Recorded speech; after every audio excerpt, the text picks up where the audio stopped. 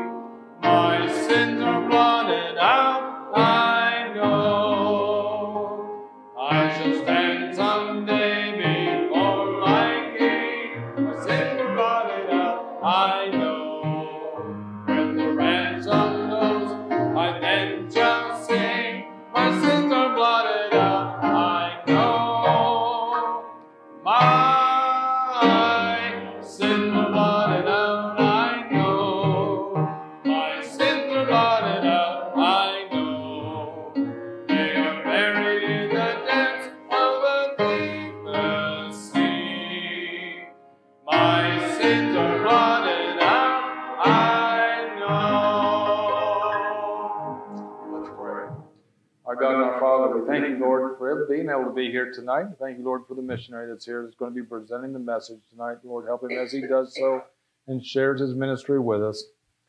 Lord, I pray for those who uh, have issues, Lord, tonight and help them as they are uh, dealing with those, Lord. You know the, the needs, Lord, and you know, uh, Lord, the way and, and how to take care of things. And I thank you for your watch care over us and the way that you take care of us day by day and lead us along this these paths that we go. And I thank you for all that you do for us in our salvation. In Christ's name we pray. Amen. You may be seated. Brother Bob.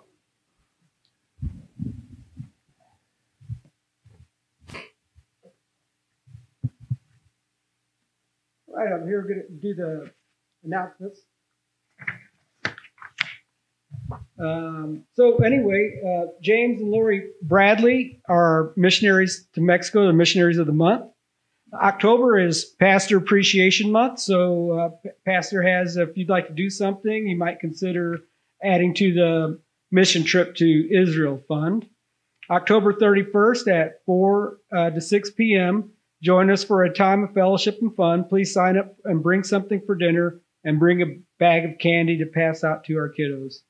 Um, then we have, uh, let's see, do we have anything else? Pumpkin Patch. Pumpkin Patch. Where is the, what day?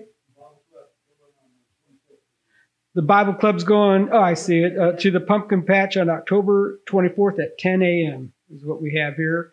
So it says uh, it's $10 per person, and please bring a sack lunch. All right, anybody have any other announcements? All right, well, then let me, uh, I'd like to introduce um, Justin, uh, our missionary to the Navajo Indians. He's uh, here without his wife today because she, she's at she's at home right now, and um, we'd like you to come up and preach whatever God has uh, put on your heart.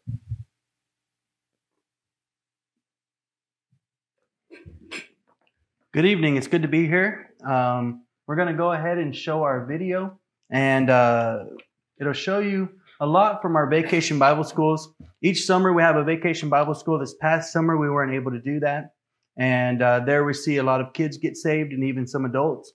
And um, uh, COVID has really uh, came across the reservation, and a lot of people are afraid of it.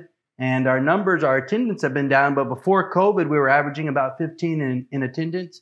And uh, currently, my family and I, we are working on our church building, and uh, we live in the church building at this time. But my family and I were uh, closing on a house on October 23rd. So I appreciate if you pray for us about that. Thank you.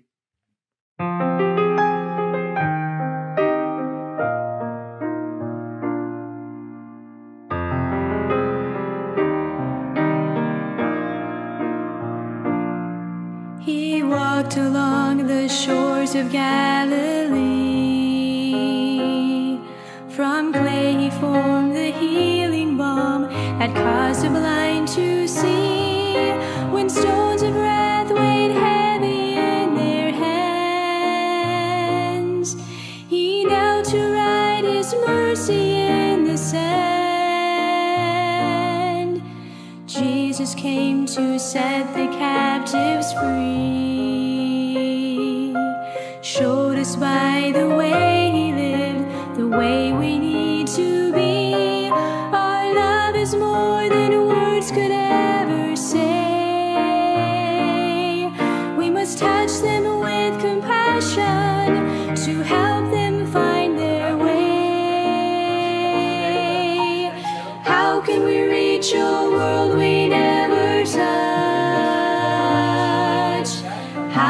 How show them Christ if we never show them love? Just to say we care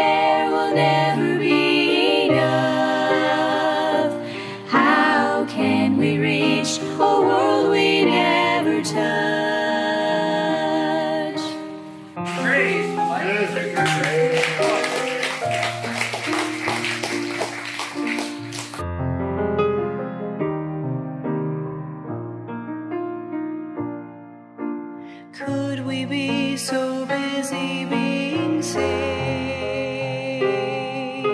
trying to impress a world that's long since lost its way? We pride ourselves in being set apart, yet we don't take time to touch a broken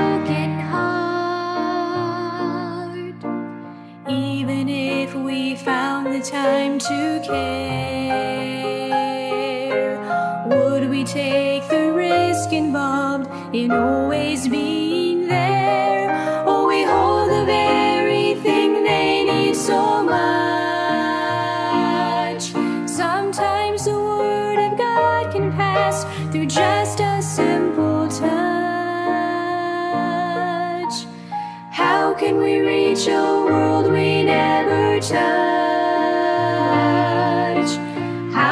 show them Christ if we never show them love? Just to say we care will never be enough. How can we reach a world we never touch? We hide behind these walls and the security of friends, while beyond the stained glass windows, the world is lost in sin. How can we reach a world we never touch? How can we show them Christ if we never show them love? Just to say we care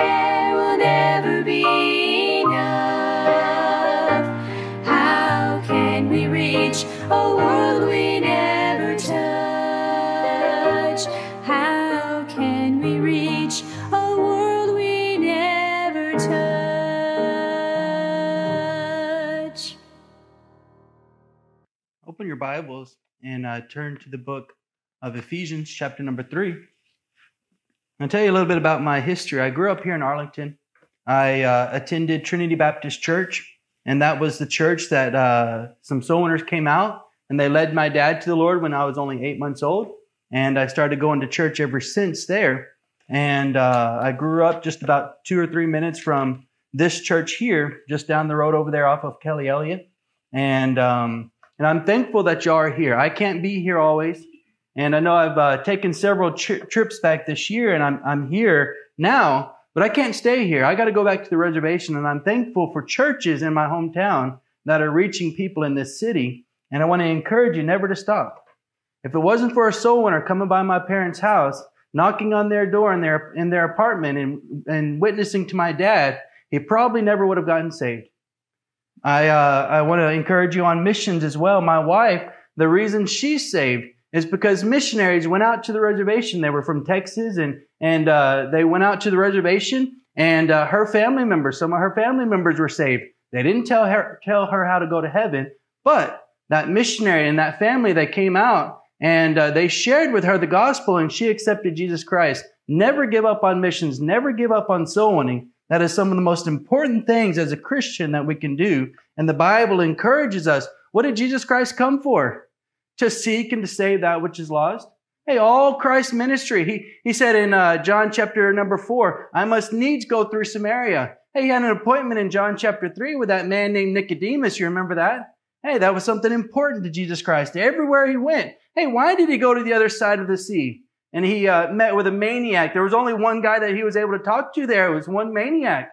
And uh, he didn't get to talk to anybody else there. He witnessed to that maniac. He saved that maniac. And then they, they kicked him out of the city. Was that one man worth it? Yes, he was worth it. And if you look throughout the, uh, uh, the uh, Gospels, you'll see that whenever the Lord came back to that city, he was received because of that maniac that got saved. Tonight, I'm going to be preaching on love plus favor equals blessings. Love plus favor equals blessings. Everybody wants the blessings of God. Everybody would say in this, in this uh, room this evening, I want God to bless me. And you'd be a fool if you didn't want the Lord to bless you. Everybody wants the Lord to bless them, even lost people. And they say, well, the Lord, I want him to bless me. But most of us, we stay in the love stage of our relationship with Jesus Christ, and we never take it any further to receive the blessings of God. Ephesians chapter 3, I'll begin here in verse number 16. The Bible says this, that he would grant you according to the riches of his glory to the strengthen, uh, uh, to be strengthened with the mighty, uh, with might by his spirit in the inner man. Verse number 17, that Christ may dwell in you, in your hearts by faith, that ye, being rooted and grounded in love, may be able to comprehend with all saints what is the breadth and the length and the depth and the height, and to know the love of Christ, which passeth knowledge, that ye might be filled with all fullness of God. Verse 20. Now unto him that is able to do exceeding abundantly above all that we ask or think, according to the power that worketh in us, unto him be glory in the church by Christ Jesus throughout all ages, world without end. Amen. Let's pray for a second. Dear Heavenly Father, please come down and meet with us. I pray for the needs of this church. I pray for the pastor. I pray for my wife. And the ones that are not here, here this evening, I pray that you would bring them back at another time.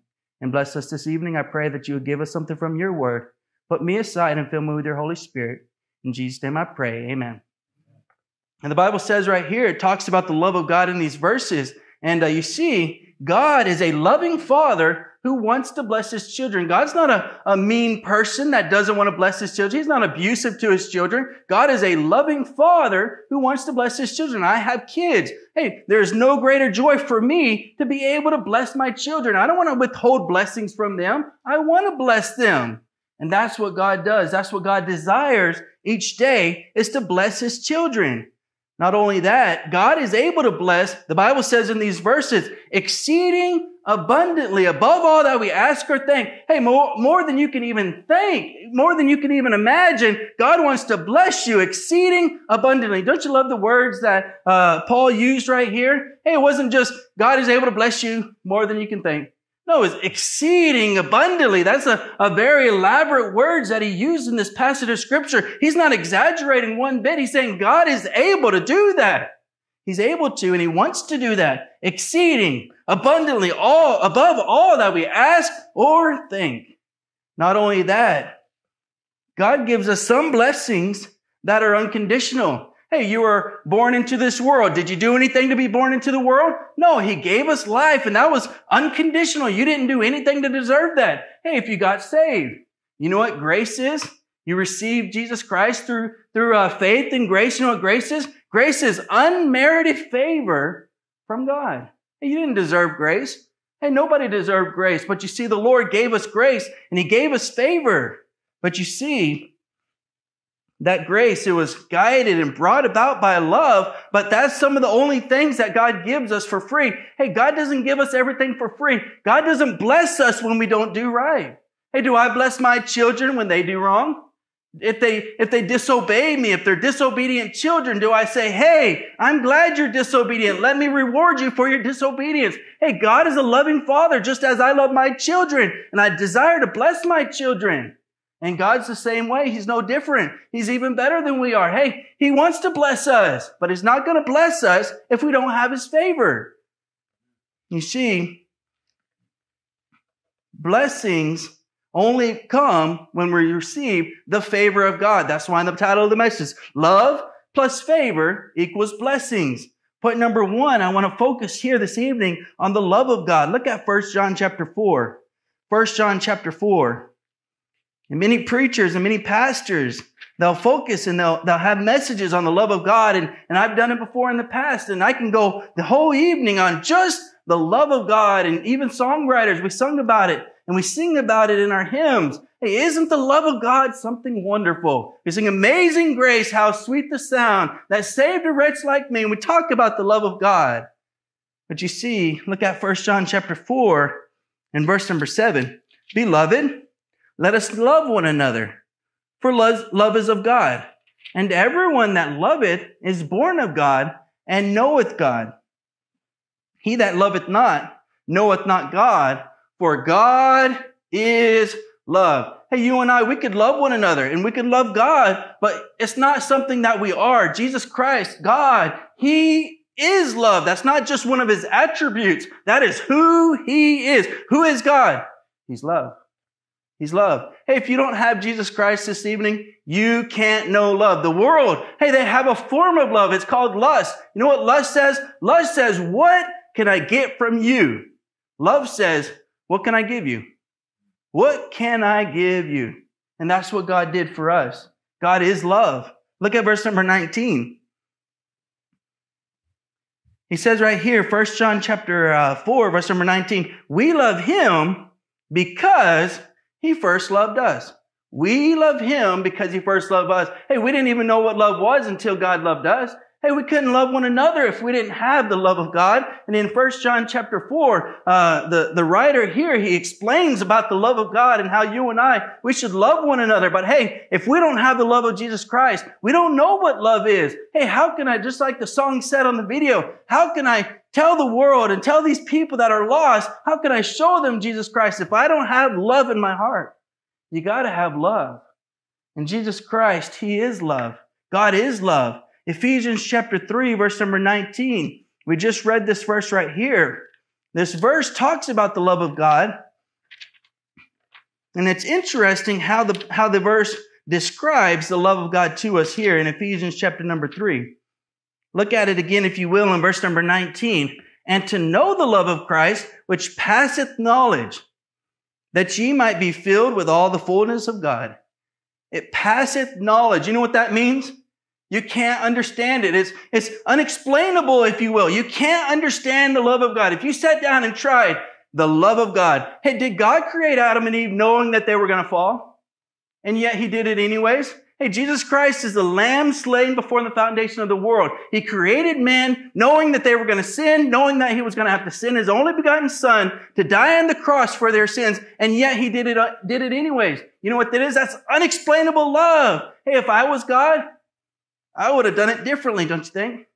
I would have said, no, that's probably not how I'm going to operate. I'm going to do it just a little bit differently to make sure that they don't mess up and they don't fall. But you see, God, God is love. His love is unexplainable. You can't explain it. Look at Romans chapter number 8 and verse number 35. Romans chapter 8, verse number 35. Not only is the love of God unexplainable, it is something that is unconditional. unconditional. Romans chapter 8, look at verse number 35. Who shall separate us from the love of Christ? Shall tribulation or distress or persecution or famine or nakedness or peril or sword? As it is written, for thy sake we are killed all the day long. We are accounted as sheep for the slaughter. Nay, in all these things we are more than conquerors through him that loved us. For I am persuaded that neither death, nor life, nor angels, nor principalities, nor powers, nor things present, nor things to come, nor height, nor depth, nor any cre- other creature shall be able to separate us from the love of God, which is in Christ Jesus our Lord. Hey, the love of God, there's nothing that can change the love of God for you. Hey, it's unconditional. Aren't you grateful that the love of God is unconditional?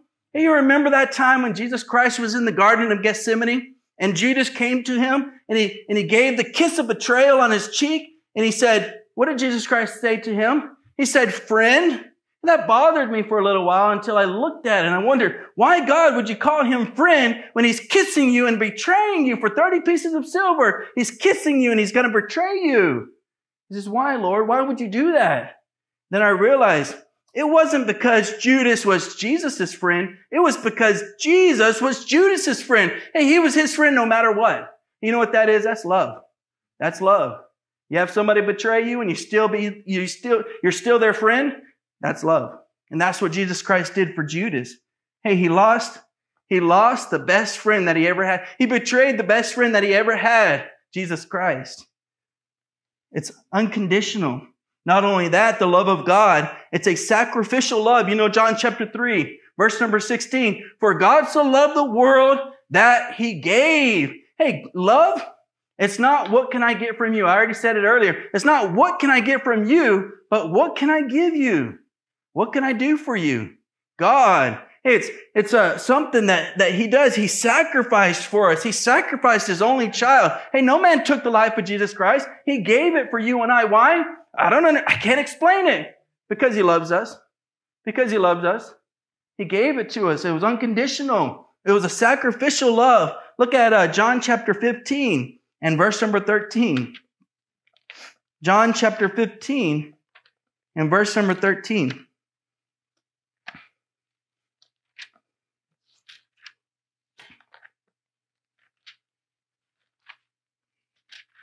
He says right here, greater love hath no man than this, than a man lay down his life for his friends. Not only that, he takes it a step further in verse number 14, uh, verse number 14. Ye are my friends. How? Why? How are you the Lord's friends? If you do whatsoever I command you. Hey, God has shown his love toward us. He gave his life for us. Greater love hath no man than this, than a man lay down his life for his friends. God laid down his life for you and I. Jesus Christ laid down his life for you and I. He showed his love to us. Now he says, take it a step further. You show your love back to Jesus Christ by obeying him. Ye are my friends if you do whatsoever I command you. If. That word if, it's a big word, isn't it? If. Hey, God loves us unconditional. God loves us when we don't love him back. God loves us no matter what, because that's true love. But he says, if you love me, keep my commandments. The love of God. Look at Second Corinthians chapter number 5. 2 Corinthians chapter number 5. The love of God should motivate us to receive his favor. The love of God should motivate us to receive his favor. 2 Corinthians chapter 5 and verse number 14. The Bible says right here, for the love of Christ constraineth us, because we thus judge that if one died for all, then we're all dead. Hey, Paul's writing to the Corinthians right here, and he's saying the reason that he is an ambassador for Jesus Christ, the reason he tells people how they could go to heaven, the reason that he lives for Christ is because the love of Christ constraineth him. Hey, it, it forces him in a way, not, not physically, but he, he, he, remembers the love of Christ and, and he, he studies the love of Christ and he thinks about the love of Christ and, and, he, and he tries, he, the, the love of Christ forces him if you will, to do what he does as a Christian. And the love of Christ should constrain us to receive his favor. Hey, a lot of people in the world, they know God loves them. Hey, they know the verse John, John 3, 16, for God so loved the world. And they know that and they love that verse and they know that God is love. But they never take it a step further. They never say, I know you love me. Now let me show that I love you.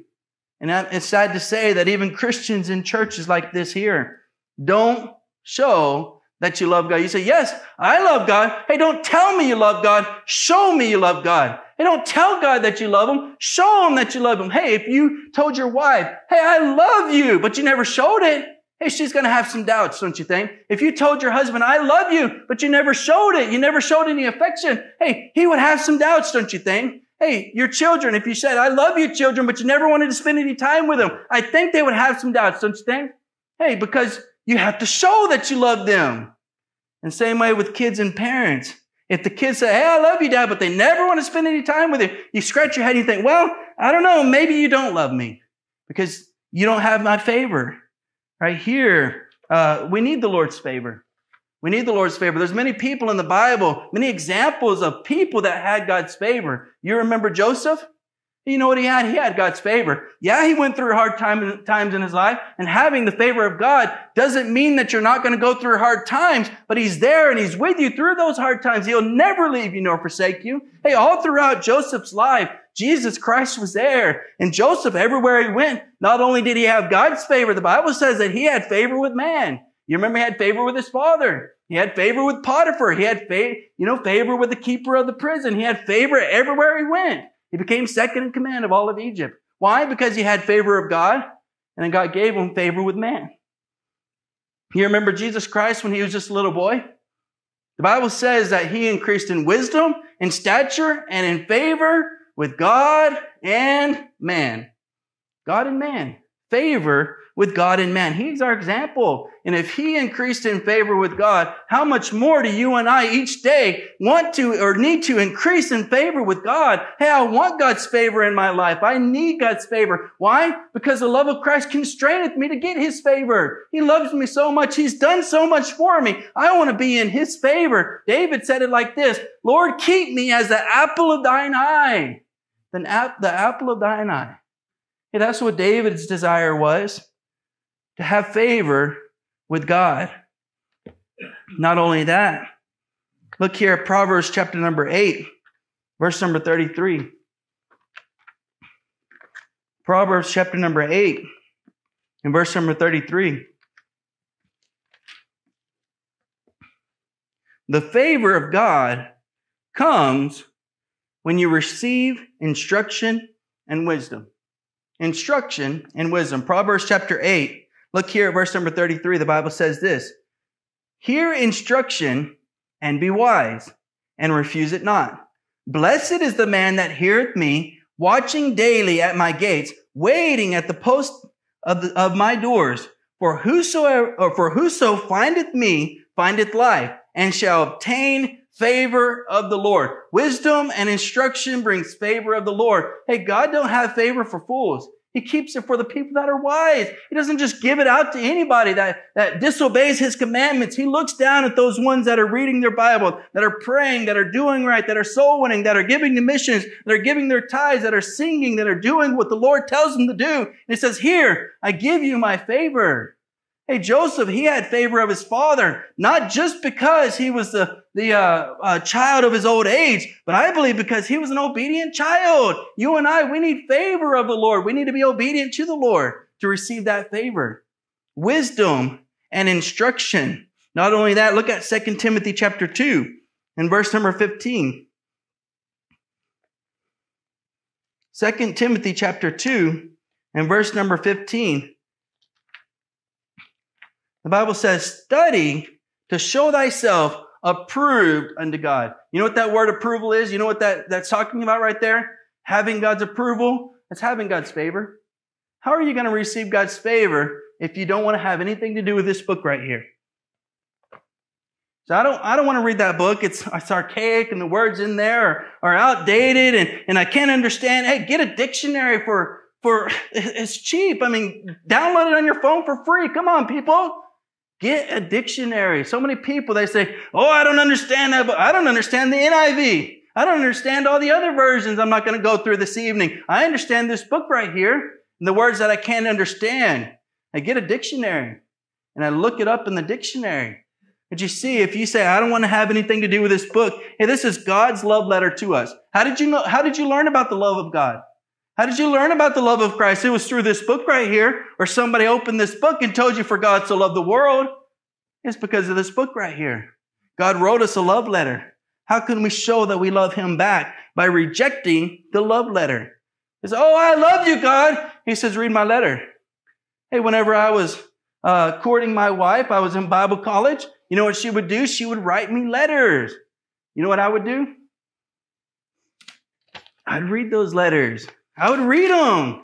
And I wouldn't, I wouldn't just read them one time and say, I read it once. I'm done with that. Then forget that anymore. I read it once.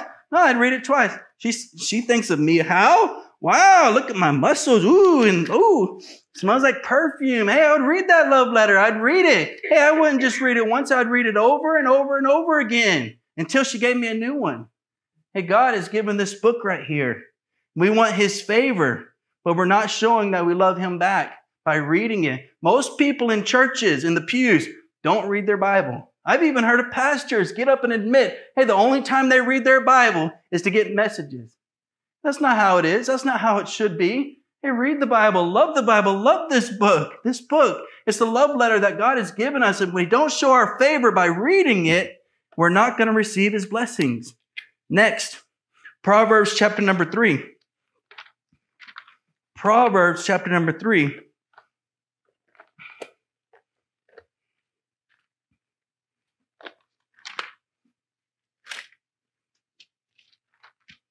In verse number one, my son, forget not my law, but let thine heart keep my commandments. For length of days and long life and peace shall they add to thee. Let not mercy and truth forsake thee. Bind them about thy neck. Write them upon the table of thine heart. So shalt thou find, what's that next word? Favor and good understanding in the sight of God and man. Hey, you want good favor with God?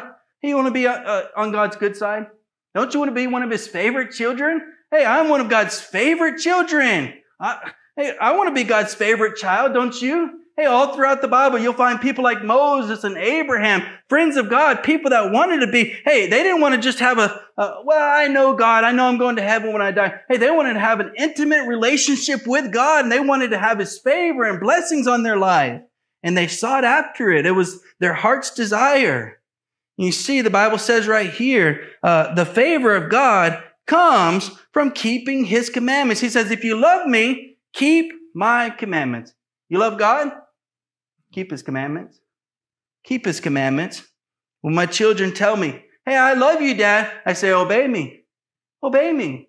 Hey, I'm not, I'm not a hard person to get along with. I'm not a mean person to my children. Hey, I don't put uh, uh, really strong restrictions on my children. I love my children. And God's the same way. He doesn't, he doesn't give us anything that we can't handle. He doesn't put things hard on us. He says, hey, learn of me. He says, my burdens are light. My, my way is easy. He wants life to be easy for you and grand. He wants the best for your life. But you gotta seek his favor. Not only that, look at John chapter number 15. John chapter 15. And I got a little bit ahead of myself here. I've already mentioned this verse, but we'll read it again, anyways. John chapter 15. Look at uh, verse number 9 starting out here. He says right here, As the Father hath loved me, so have I loved you.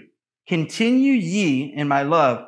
Verse number 14. Ye are my friends if you do whatsoever I command you. Hey, do you love God? Obey God. Isn't that easy? I'm not preaching anything strange or new or different or against this Bible right here. Hey, it's this basic Christianity, but so many times it's the basic things that we forget to do in Christianity. We say, hey, I love God. I go to church. Hey, show me in the Bible, does it say just because you go to church, you love God? Hey, I grew up in church all my life. I'm over 30 years old. I grew up in church. I was in church over 30 years and I've seen people come and go that sat in pews like this that did not love God. Their heart was far from Him. And yet they sat in pews. Just because you come to church doesn't mean you love God. Keep His commandments. It's a recipro- reciprocated love, showing that you love him back. Have you ever seen somebody, maybe a, a man or a woman, a man loves a woman and, and she doesn't show that love back? Isn't that the saddest love story? Whenever you see somebody who, or maybe, maybe it's a, a mother or a father that loves their children and wants the best for their child, and their child rejects that, that parent and turns their back on them. And hey, you know what? That's the saddest thing. But how many times do we do that to God? He says, I love you. I proved it on the cross. Look at my nail prints in my hands. Hey, I've proved it to you over and over again. I've given you life. I've given you blessings. I've proved my love to you. Now keep my commandments. Reciprocate the love that God has given us. Don't just be settled and don't just settle with the love that God has given us. Give that love back to Him and try to receive His favor. Look next here at the last uh, point, uh, number three. The blessings of God. The blessings of God. Look at Philippians chapter number 14. Uh, Philippians chapter number 4, excuse me. Philippians chapter number 4. And if you can find chapter 14, I'll give you $20 after church. It's not in there. Philippians chapter number 4. Look at verse number, uh, we'll start here in verse number 15. Now ye Philippians know also that in the beginning, uh, excuse me, pause right there. Look at verse number 19. But my God shall supply all your needs, Uh, all your need according to his riches in glory by Christ Jesus. Hey, I hear a lot of people and I hear a lot of good pastors. They'll get up and say, God has promised in His Word. Philippians chapter 4, verse number 19 says, supply all your needs. And people sitting in the pew, they say, I see that you, God said He's going to supply all my needs and they want the blessings of God. They say, God, please bless me and supply all my needs. And there's something that doesn't happen for them. Hey, their light bill doesn't get paid or their rent is due and they don't have the money. And they ask God, Lord, I went to church. I prayed. You said you were going to supply all my needs and you didn't supply all my needs. Hey, look at the context of the scripture. You can't just take a verse out of context and run with it. Hey, that's how denominations are started by taking verses and mis- misreading verses and misrepresenting verses out of context. Hey, look here verse number uh, 15 that we were trying to read earlier. He says, Now ye Philippians know also that in the beginning of the gospel, when I departed from Macedonia, no church communicated with me as concerning giving and receiving, but ye only. For even in Thessalonica ye sent once and again unto my necessity, not because I desire a gift, but I desire fruit that might abound to your account.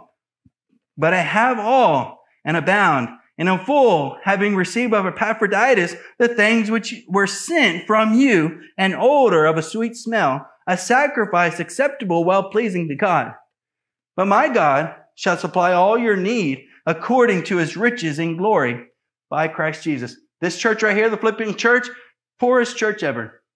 Poorest church. Hey, they didn't have a lot of money, but they sent once and again to Paul's needs. And Paul is telling them, because you sent to my needs, Paul, the greatest missionary that ever lived, is hey, because you sent to my needs as a missionary, my God shall supply your needs. Hey, you have needs. Hey, your church has needs. Hey, my church, my congregation, I told you how many were running. We were running about 15 before COVID. But you see, you know what? We support three missionaries. Three missionaries. Why? Not because we have a lot of money, not because we have excess money that we just want to give away. Hey, because I want God's blessing and I want God to take care of my needs. Hey, we don't even have a, a running water or electricity at our church just yet. But you know what we do? We support missions. Why? Because we want God's blessings. Hey, without His favor. Hey, we got His love. That was unconditional. Hey, we got His love, but we want His favor so we could receive His blessings. Not only that, the blessings of God. I said the blessings of God of supplying our needs is only achieved by giving to missions. Look here at Mark chapter number six. Mark chapter number six.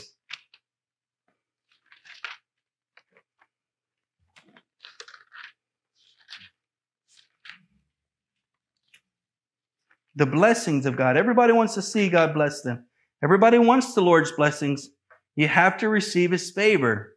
You see, the blessings of God taking care of us is received when we seek his kingdom and his righteousness. Mark chapter number six, verse number 30. He tells us right here, he says, and the apostles uh, gathered themselves together unto Jesus. I got this verse wrong, but uh, the verse is this uh, Seek ye first the kingdom of God and his righteousness, and all these things shall be added unto you. What things shall be added unto you? Hey, he talks about in the verses prior to that. He says, hey, food and raiment. He says, don't seek after food. Don't seek after raiment. But you see, all the Gentiles, that's what they seek after. He says, don't worry about those things because, hey, you know what? The lily of the field, God clothes the lily of the field. God takes care of the lily of the field. Hey, he said it's, it's arrayed better than even Solomon was arrayed in all his glory. He says, but seek ye first the kingdom of God and his righteousness, and all these things shall be added unto you. Everybody says, Hey, I want God to add these needs that I have. Hey, food and raiment and, and all these needs that I have. He says, seek, seek his kingdom first and seek his righteousness first. He says, He'll add that unto you. Next, the blessings of God. Look at Malachi chapter number three. Malachi chapter three. Oh, I know that he was going to get on tithing. I knew he was going to get on it. Hey, I'm a missionary. That's what I'm, that's what I'm paid to do, right? Get on tithing a little bit. But isn't it important to tithe? Hey, all throughout the scripture, you'll see in the, in the very book, first book of the Bible, Genesis, Abraham paid tithe. He, get, he paid tithe the, the priest Melchizedek. Hey, all throughout the Bible, the Lord talks about giving. Malachi chapter 3 and verse number 10. Bring ye all the tithes into the storehouse, that there may be meat in mine house. And prove me now herewith, saith the Lord of hosts, if I will not open you the windows of heaven and pour you out a blessing that there shall be, uh, shall not be room enough to receive it. Verse number 11, I will rebuke the devourer for your sakes, and he shall not destroy the fruits of your ground. Neither shall your vine cast forth her fruit before the time in the field, saith the Lord of hosts. Hey, you know what you should do? You should give your tithes and offerings so that the Lord can open the windows of heaven and pour you out a blessing. Hey, everybody this evening would say, Lord, please open the windows of heaven and pour me out a blessing. I need a blessing this evening. Hey, he says, give your tithes and offerings. It's contingent on receiving his favor. Give your tithes and offerings. Hey, I like that verse number 12, verse number 11. He talks about rebuking the devourer for your sake. Hey, don't you want to give the devil a kick in the head? Devil ever ever did anything wrong to you? Hey, devil ever treated you bad? Hey, you want to beat the devil up? Give your tithes and offerings. He says, I'm going to rebuke the devourer for your sake. You know what? Whenever you give your tithes and offerings, you know what the devil says? Hey, get away, devil. Leave those people alone right there. They gave their tithes and offerings. Leave them alone and rebukes them for your sake. And that's a blessing that you could receive when you receive the favor of God. Most people never get past the love of God stage the love of God and they sing about, they love singing about the love of God and they love, oh, just tell me about the love of God. And you hear people like Joel Osteen on the TV. He's talking, oh, the love of God. Oh, God loves everybody. God is love. And he's smiling all the time. Hey, God is love. But if you only had on a battery, if you only had just a positive side to that battery, what would happen without the negative? Hey, God is love, but God also is a consuming fire. Hey, God is angry with the wicked every day. He doesn't, God doesn't just come up uh, every day and say, Hey, I love the wicked. No, God is angry with the wicked every day. God is love. Hey, it means more to you when you understand who God is. If you take the positive and the negative, not that God has any negative, but to us, hey, anger and, and all these things that the Lord is, it seems negative to us, but hey, that shows that God loves us and we can receive God's love. Hey, it means more to us when we receive it. The love of God. Most people never get past the love of God stage. They never seek his favor. Therefore, they receive very little blessings. And they're alive. You know, maybe they got saved, but that's where they stay. You ask somebody, hey, what does God do for you? Hey, what has God done for you lately? There was a guy in the video. His name is Jimmy Stevens. He's, um, not really my dad, but he grew up here in the Dallas Fort Worth area and he's out there on the mission field. He's helping us in our church. You know what he does? Hey, tell me what God's done for you. Tell me. He walks up to random people. Tell me what God's done for you. And people, they scratch your head. um, I'm not sure. Mm, what did God do for me? He says, Are you alive? Did you, are you saved? He, he has to pry it out of people. Hey, if somebody walked up to you and said, Hey, tell me what God's done for you lately, you should be able to say, Hey, this is what God's done for me. He's blessed me here and He's blessed me there. Why? Because you're living in His favor. Those people that don't have an answer, hey, they received the love of God, but they've stopped there in their Christianity. They've never sought after His favor. Therefore, they were never received blessings from Him after that. Most people want blessings from God, but don't love Him enough to seek His favor. If you love me, keep my commandments. Keep my commandments. We should seek His favor, not just for the blessings, not just to say, hey, I want the Lord to bless me, so I'm going to seek His favor. We should seek His favor all the way back to Second Corinthians. Remember we said the verse?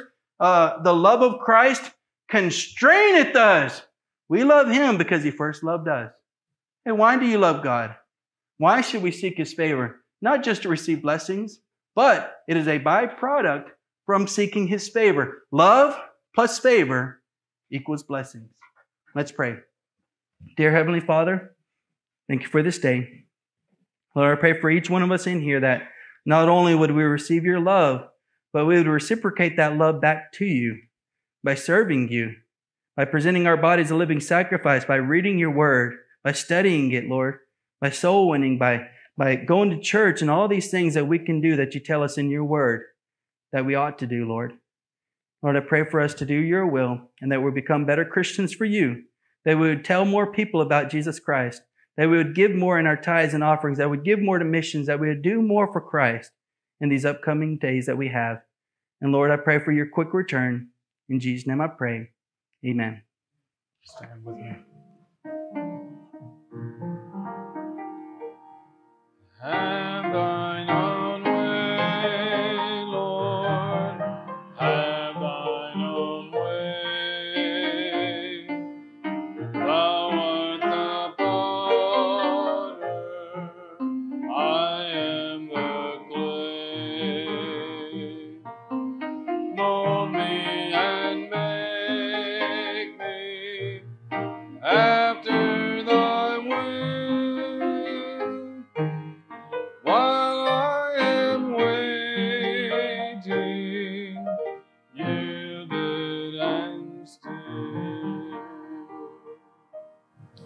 Brother Mike Kenny, close our service in a word of prayer.